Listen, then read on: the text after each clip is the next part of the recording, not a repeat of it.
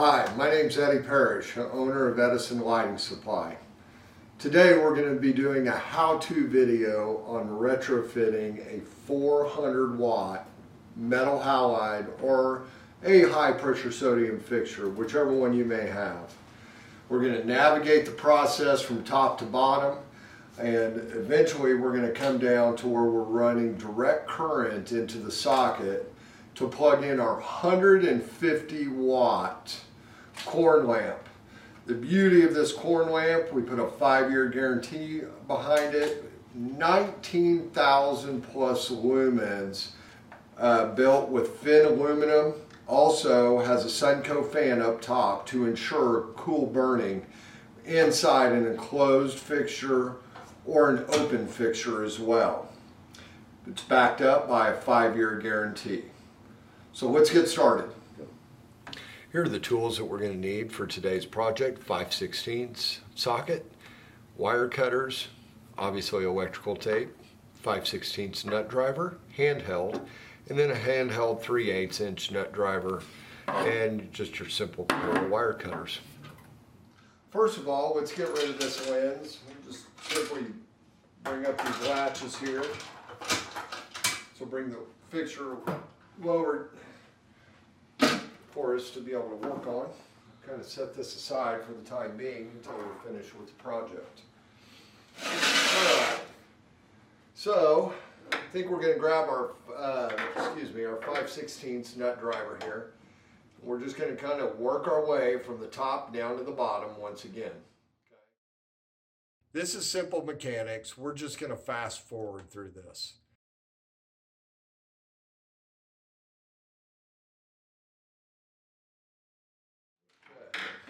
So we have we've got the ground, uh, hot, and neutral coming out top. We can just go right into here. There's two bolts in here. This specific fixture, it's designed differently. Like I said, every, this fixture is a little bit more intricate than others.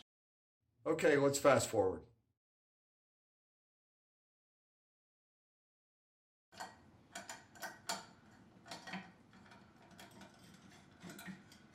Okay, so this will just slide off the top here. And we lost a screw on the floor, but that's okay. We'll catch up with that guy here after that. Okay, so still with our 5 16 driver, we're going to go ahead and remove this top plate here.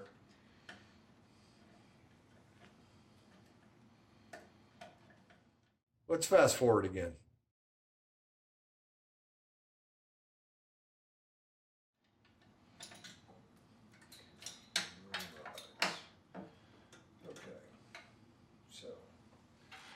With this particular fixture to get rid of these house, this top piece of this housing unit, to get down into these pieces, uh, we're going to need to unscrew um, these from down below here. So let's go ahead and get started with that.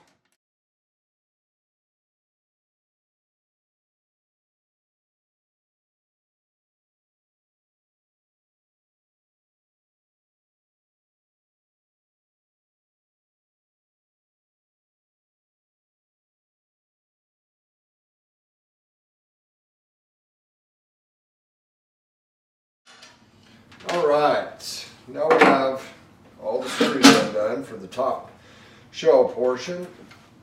Folks, we got tons of wiring in here that we don't need, but the most of the wiring we do need is just the wires, the white and black wires going to the socket you're going to see these. Once I get this removed,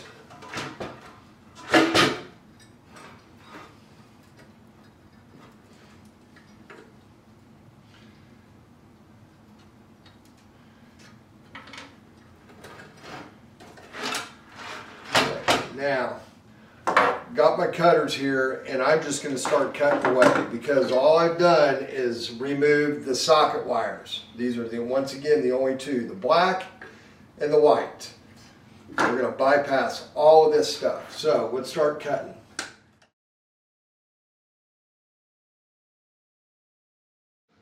So we're free of that. Now we're just going to get into getting rid of the ballast and then we have the capacitor right here. All of this stuff's gonna go.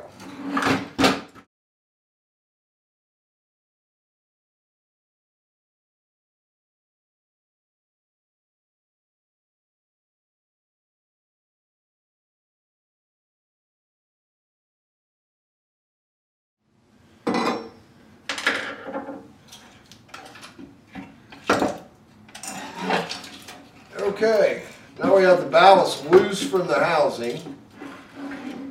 This is gonna lighten your fixture up tremendously. Um, and go ahead, and let's cut this loose from the fixture. We're just gonna go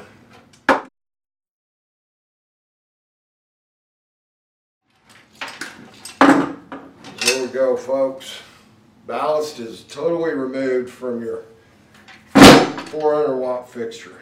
Make one hell of a paperweight for your desk. So, go ahead and get the capacitor out of here. You really don't need to, but I figure we'll just light this up tremendously.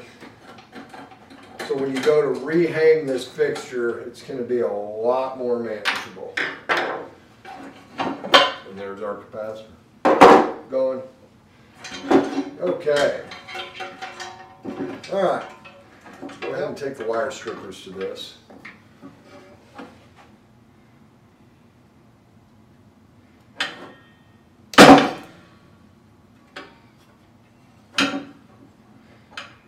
We got plenty of wire nuts laying around here off this ballast. that We don't have to hunt, hunt for them.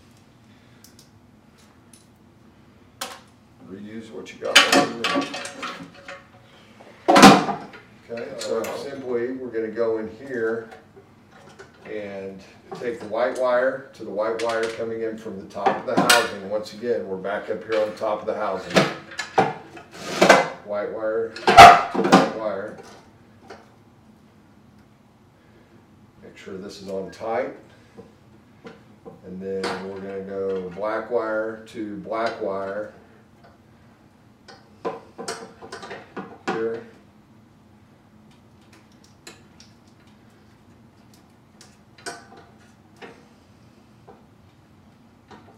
Okay. All right. Now for safety's sake, we're gonna grab our electrical tape. Just gonna make a nice wrap around it.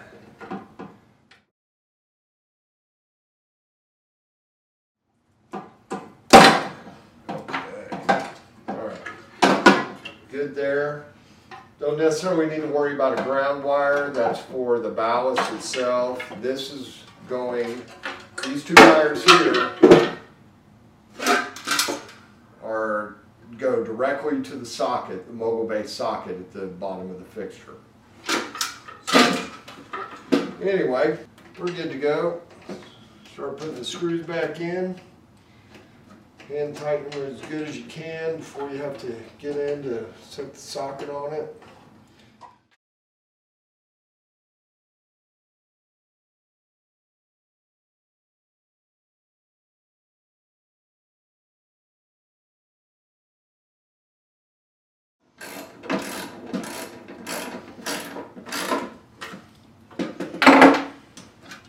Now that we have our top casing back on uh, for the ballast area that's been emptied out, we're just going to start putting on the power supply that's coming back up to the top of the fixture.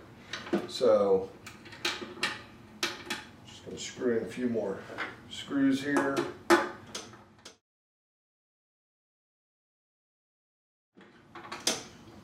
Okay. If we remember correctly, we're gonna slide this back over.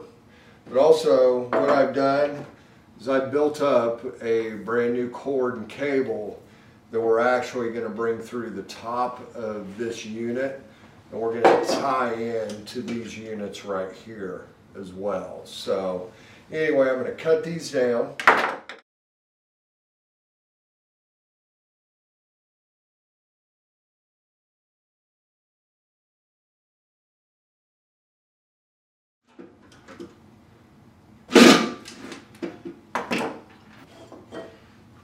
Here.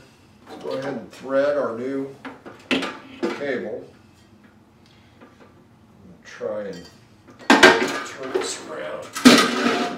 Home can see. Thread this new cable right through the top here.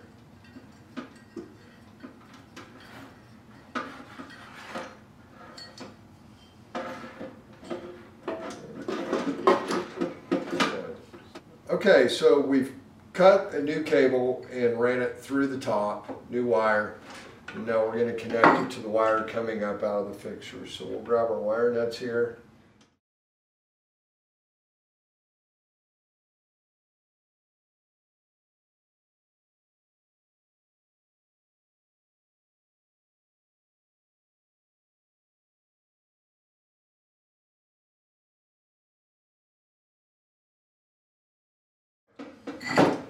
Now we got that, this part together here. Okay, swing the fixture around. As we- So as we remember correctly, this housing slides right over this top plate here. Just slide it right in there, nice and tight like that, okay? I'm gonna go ahead and set these screws in here in these hole for this bracket here for this specific fixture. And bring it back. We'll grab our hand driver here.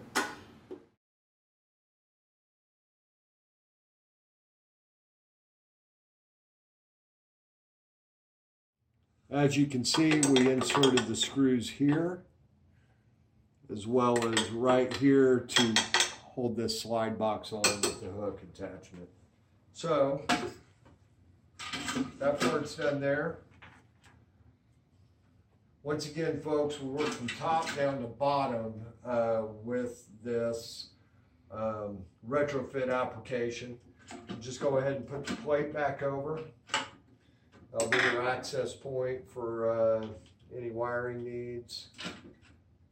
The beauty of these corn lamps is they're 120 all the way up to 277 volts.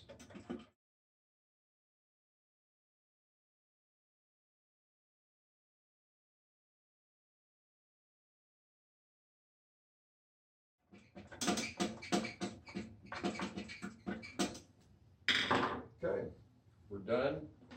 Okay, now that we have this wired up, all put back together, it's time to put our 150 watt corn lamp uh, in.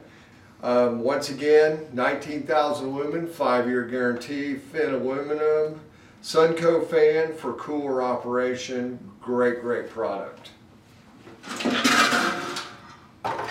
Screw this in. It's all mogul base, so we don't need to worry about uh, downsizing to a medium base or vice versa. And Voila, there we go. Bright, white, 5,000 Kelvin. Metal halide. We put this beauty back, the wind's back over it to give it some diffusion through your warehouse, manufacturing facility, and uh, you're we have no more ballast humming, no more uh, uh, ballast failures, bulb failures, and once again, going to save you over 70% energy savings. Phenomenal product. Glad to have it in our line card here at Edison Lighting Supply. Thanks for visiting today. And if you decide to get in this project, don't forget, if you don't feel that you're qualified for it, please consult with a licensed electrician. Be safe. Have a great day.